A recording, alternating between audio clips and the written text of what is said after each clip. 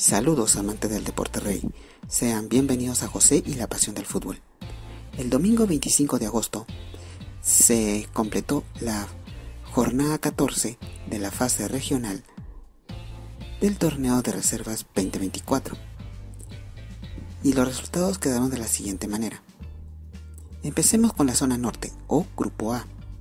El viernes 23 de agosto se jugaron tres partidos. Sport Boys venció por 2 a 0 a Alianza Atlético.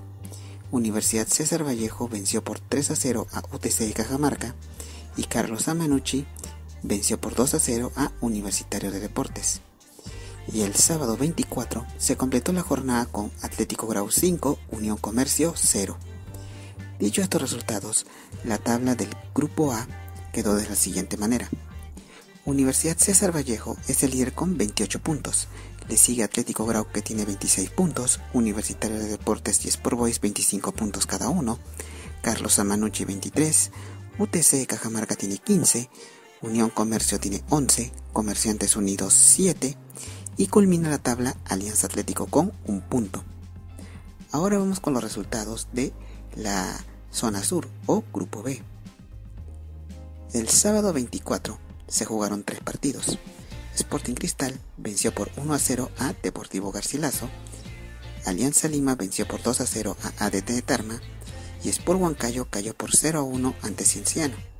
Y el domingo 25 se completó la jornada con Cusco Fútbol Club 2, Los Chancas 3. Dicho estos resultados, la tabla del grupo B quedó de la siguiente manera. Alianza Lima y Fútbol Club Melgar encabezan la tabla con 26 puntos cada uno. Le sigue Sporting Cristal que tiene 21 puntos, ADT de Tarma tiene 20, Cienciano y Sport Huancayo 19 puntos cada uno, Deportivo Garcilaso 16, Los Chancas 6 puntos y culmina la tabla Cusco Fútbol Club con 4 puntos. Bueno amigos, esperemos de que esta información les haya sido de su agrado y siga alentando a su equipo favorito. Por mi parte, esto ha sido todo. Gracias por visitar a José y la pasión del fútbol. Nos vemos en un próximo video. Hasta luego.